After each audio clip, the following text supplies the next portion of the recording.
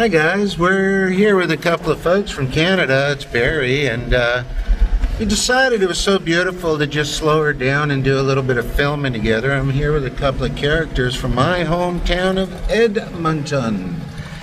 And we're venturing through, uh, this is some new footage for you guys. We're heading through a town past Paita and then San Cristobal. We're gonna head off to uh, about three, four miles up the road, a turn off inland to Las Cojuis. Uh, Las Cojuis is, uh, for all you English folks, means cashews.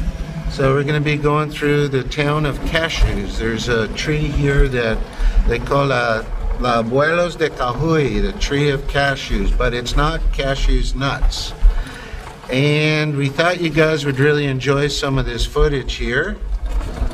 So why don't you just hang on and hang around with uh, Bob and Carol and myself, and we'll see if we can't find you some decent footage. You guys enjoying this or what? Sure are. Oh, yeah. It's a little. gorgeous. We're uh, hearing it's a little bit like the foothills, and that's that's my home country, so I know exactly what they're talking about. Foothills around Calgary, and uh, I'm probably going to stop at this peak here and do a couple of stills just to give you an idea of where we're at. And it's absolutely magnificent, isn't it? Oh, it's gorgeous. Yeah, zoom back here and guys enjoy and we'll catch you on the fly a few minutes later is burying them out. Just to catch you guys up to speed, um, we're working our way towards the turnoff. I just wanted to show you here that the infrastructure is really changing in this country. Um, a lot of road work and uh, there's signs all over from the Board of Tourism, Ministro de Turismo, about manos de la obra, hands working together. And uh, you'll even see, even out here in the country, uh, what would you say, guys? I mean, the roads, how have they been? I mean, from what you've seen, what they're doing? They're good.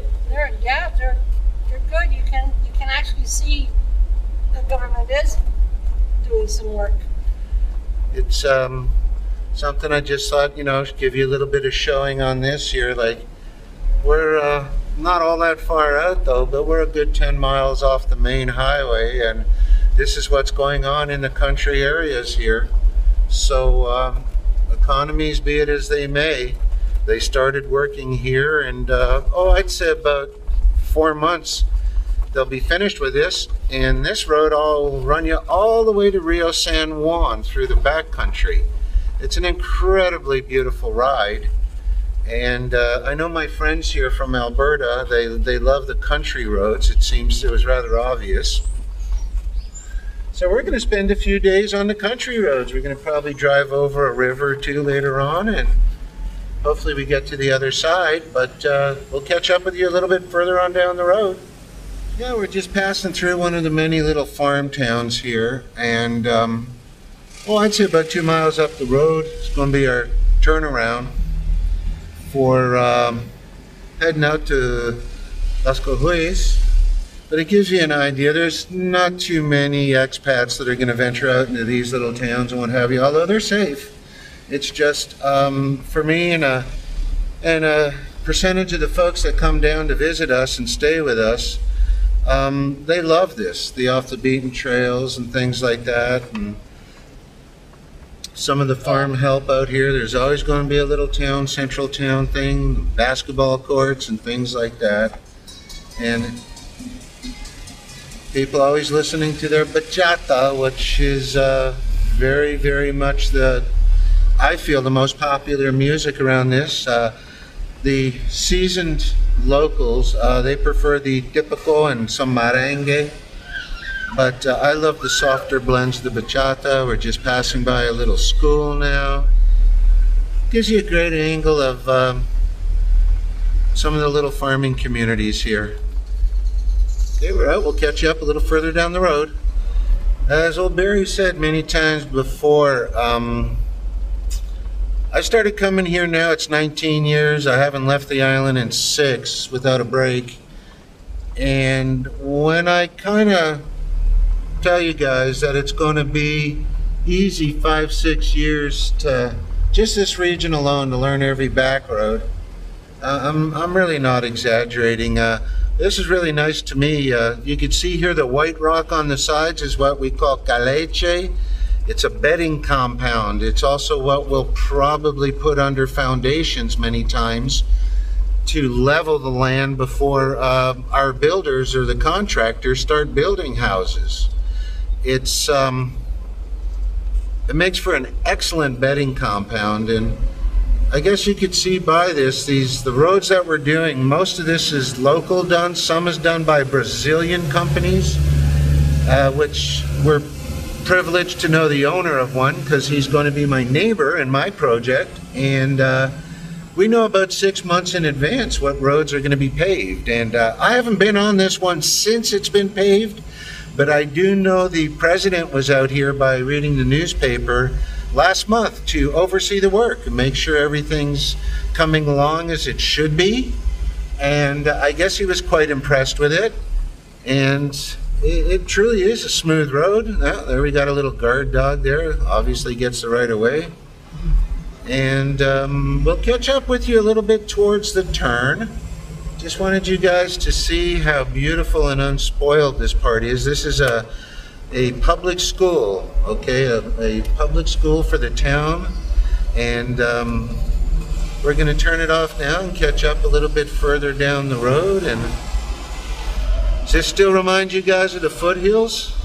Except for the palm trees. Yeah. Except for the palm trees. Okay, got you covered. All right, we'll catch you soon.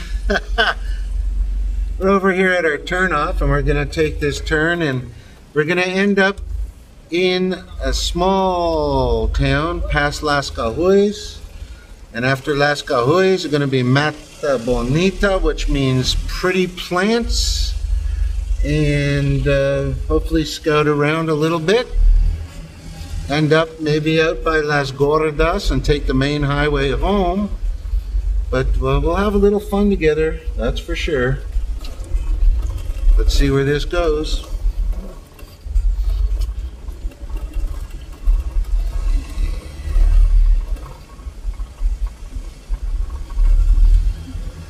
It's actually very beautiful out here, very pristine. And uh, these are peaceful folks. They uh, they're farm. Most of them are rice farmers. A big part of this area is rice.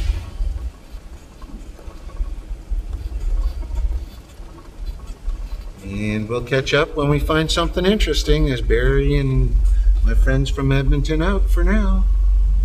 Yeah, I'm just gonna let the camera run for a while. Oh, it's uh, really that beautiful. We got pine trees up here It's kind of a nice mix. Kind of a nice mix, and uh, gosh, it's a beautiful area.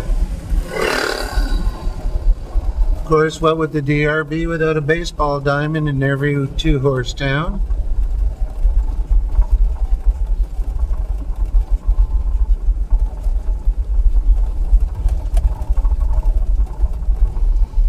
That really is a sharp change right away now. There's a lot of pine trees which is a little bit closer to Canada. Maybe we took a wrong turn and we're heading towards No, I don't think Canada. so. No, I'm still No. seeing. I'm still seeing palm trees. music, what would the DR be without its music?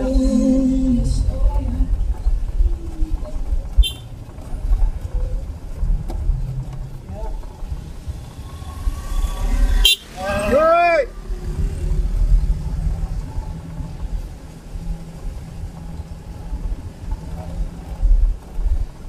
Laundry day. I'm surprised I don't see any hanging out on the uh, on the barbed wire. That one I haven't figured out yet. That one I No, haven't figured out on yet. You don't put 'em on barbed wire. They do here. I, Here.